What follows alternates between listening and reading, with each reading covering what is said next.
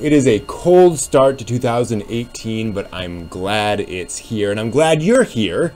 For this Friday, I'll be giving away memories, namely the anthology film assembled by Katsuhiro Otomo of Akira fame.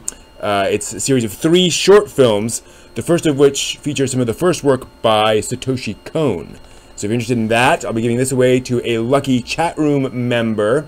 Uh, I should note this is a Hong Kong release, so it does have English subtitles, but it's Hong Kong English subtitles. I'll also be reviewing A Sister's All You Need, a recent and remarkable kind of pervy anime series. Got a lot of uh, uh, commentary online for some pervy elements, but it's got some interesting themes in there that I want to explore. We'll also be talking about this thing that comes up a lot online in discussions. The manga's better, right? You always hear that when talking about anime or manga. So we're going to discuss that. I'm going to dive into why people think that, why it's frequently true.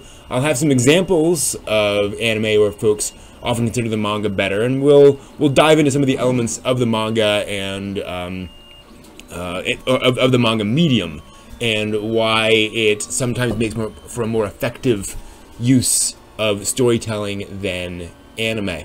So if you join me for that, we'll also be doing Otaku no Cooking, making some special uh, shortbread cookies topped with chocolate and caramel. Sound pretty good. Nice little New Year's uh, treat start to the year. I'm going to be doing something a little different with that. I'll be streaming the main show on YouTube Live starting at 9 p.m. Eastern, and then at some point I'll switch over to Twitch for the cooking. So uh, join me on YouTube Live for the for the show regular. Don't worry about the Twitch to start off with, and then I'll notify you when to switch over to the Twitch channel. So I'm gonna try that out as kind of a a way of splitting things up. You know, um, main anime stuff here, and then Otaku no Cooking over on Twitch. We'll see how that works.